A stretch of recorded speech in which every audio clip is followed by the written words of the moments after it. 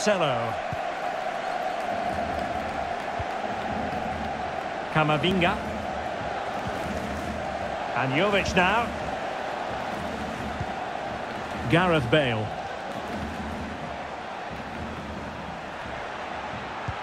A really sumptuous ball.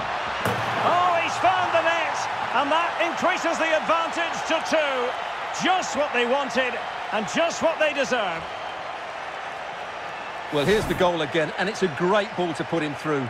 Good vision to set up the chance, but you do have to ask questions of the keeper. Could he have done better here?